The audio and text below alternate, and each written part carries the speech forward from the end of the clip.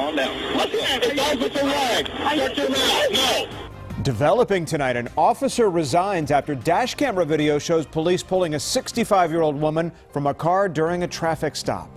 Good evening, I'm Tom Haines. And welcome everyone, I'm Cynne Simpson. This video is hard to watch.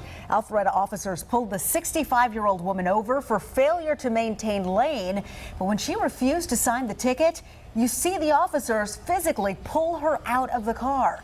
Four officers then marched her to the patrol car. Fox 5's Aungelique Proctor joining us now live with the developments of the case. Aungelique, you talked to the woman and to police.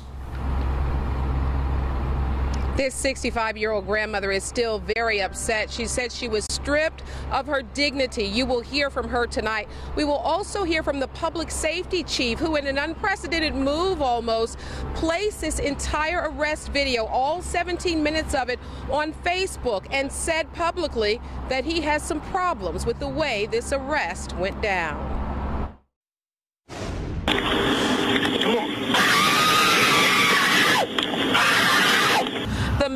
Videotaped arrest of grandmother Rose Campbell is being shared all across the United States. Many people, including Georgia lawmakers, are horrified by what they describe as excessive force and blatant disrespect for the elderly. Mama Campbell, as she is affectionately called, says the experience has deflated her. Because now I can't trust. Now I can't trust a blue light. I can't trust it. It's just damaged me. It's, it's, it's, it's hurt me. It's it's left something in my soul that I'll never forget. I need the supervisor. I need the supervisor now. Ms. Campbell says she kept asking for a supervisor when the initial officer tried to arrest her for not signing the traffic ticket.